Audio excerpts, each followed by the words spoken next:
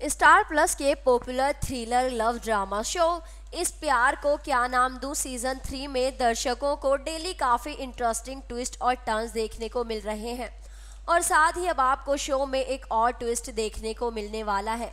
जैसा कि आप देख ही रहे हैं कि इन दिनों शो में एक बेबी की एंट्री दिखा दी गई है, जिसे चांदनी सभी से छिपाकर अपने पास रखती है। लेकिन अद्वै से भला कैसे कुछ छुप सकता है? जी हाँ अद्वै सिंह रायजादा चांदनी को उस बेबी के साथ देख लेता है और काफ़ी हैरान रह जाता है।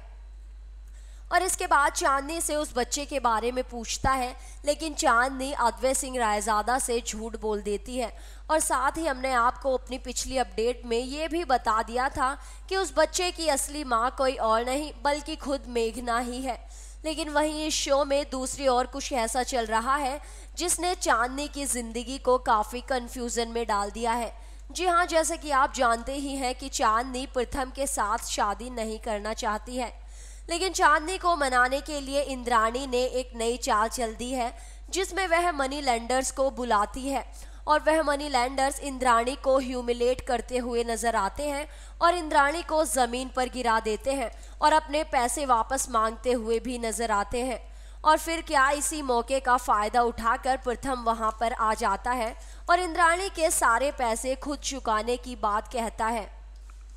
फिर इस तरह से चांदनी एक बार फिर से प्रथम से शादी करने पर मजबूर हो जाती है। लेकिन जब अद्वैत चांदनी से शादी करने को कहता है तो चांदनी साफ़ मना कर देती है और अद्वैत से कहती है कि उसको प्रथम के साथ ही शादी करनी पड़ेगी। न्यूज़ रूम से फरहीन की रिपोर्ट। सीरियल से जुड़ी अधिक अपडेट्स के लिए सब्सक्राइब कीजिए हिंदी डाक।